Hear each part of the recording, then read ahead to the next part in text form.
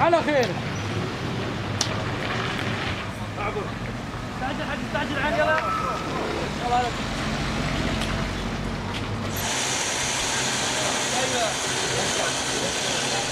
صار لك بسرعة. من الساعة 2 بالليل نايمين لحد الآن. ويلا هسه فولنا وهسه راح نطلع ننام. برأيك شلون نحل الأزمة؟ والله ما تحل إذا ما يخلون البانزيخانات كلها تفتح الأهلية والحكومية ويصير مراقبة عليها. يصير مراقبة من قبل القوات الأمنية.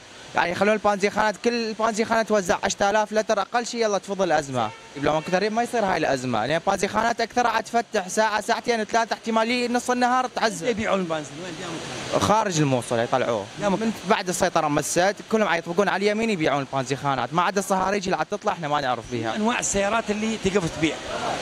قمارة بيكام عندك هاي جيمسيات كل هاي تاخذ لها 120 لتر 200 لتر تاخذ لها السيارة. قد يبيعون اللتر هناك. والله حسب الاتفاقيات ما أعرف يعني تقريبا 100 لتر ب 1100 ب 1200 يعني يبيعوه بالشمال ب 1600 ب 1700 لتر. إذا ما تفتح البنزيخانات كلها و ويعمون عن ال- الوضع ال... ال... هذا ال... عاد تشوفه قدامك أنت ما الأزمة. تظل على هاي الوضعية.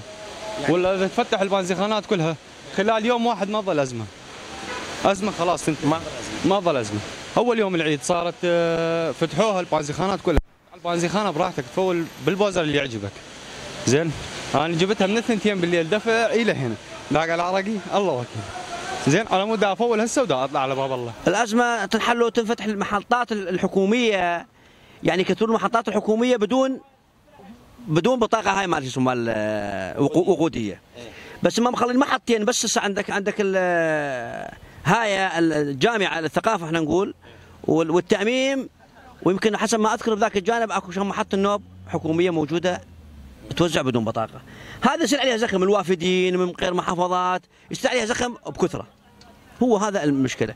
والبطاقة الوقودية ما ما ما موجودة مثل عند ال- ال- السواقة وعند السيارات عند أهل السيارات ما موجودة. والله من الساعة ثلاثة بالليل أنا قاعد لا بنزيخانه بازخانة المجموعة الثقافية. شلون نحل الموضوع؟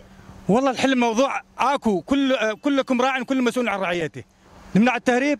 اكو اكو قوات امنية اكو اكو شغلات يعني مثل ما يقول بالقانون. امنع التهريب بالقانون يا عيني. حتى الشغل السمك إحنا بطلنا من ورا السمك البايزين ما نقدر نشتغل. شو نسوي؟